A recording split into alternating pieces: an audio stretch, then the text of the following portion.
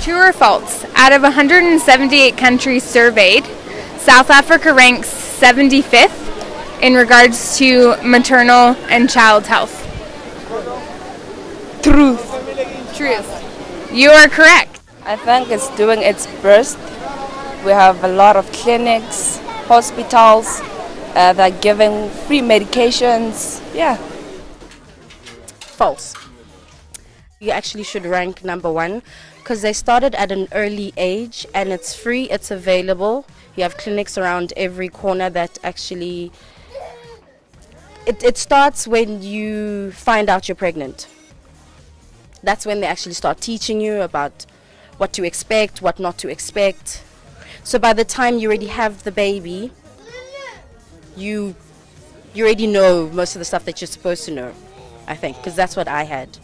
I found out I was pregnant. I was linked to my nearest antenatal class, and on a, every Friday I had to be there, and they taught you from A to Z what to expect, what not to expect, how your body changes, how to be a better mother, and that is free as well, so that counts. True or false?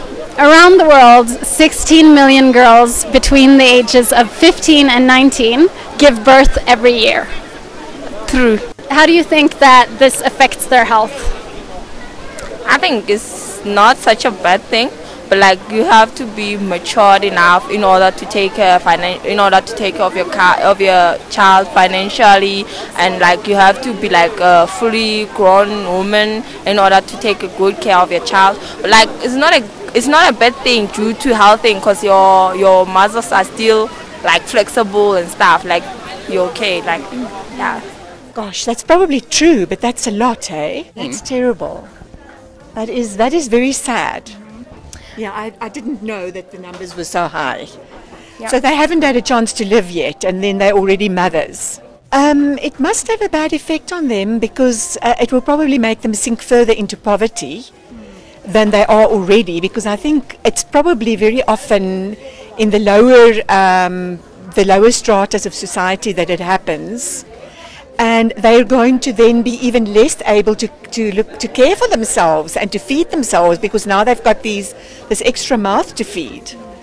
Um, and a girl of that age is not supposed to have a child already. So it probably is not good for their health. Yes, I think it's true. I think they they mentally not ready for it to have a baby in that age, and also physically. I mean, it messes up your whole body. Sorry.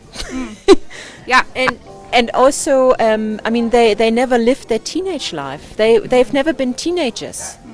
So I think they're going to miss out big big time. Thank. True or false? Approximately 3 million newborns do not survive their first four weeks of life every single year. True. True. Well, I think uh, our new scientists, um, in terms of medicine, they should do more research because if each year a new discovery of a disease is discovered and uh, it seriously infect our newborns because most women do not know how to take care of themselves when during pregnancy or period. True, I would have said. I think education and also depends on which country, but the health system, I think, is very important. Okay. The uh, type of healthcare that the newborns and their mothers get makes a big difference, I think.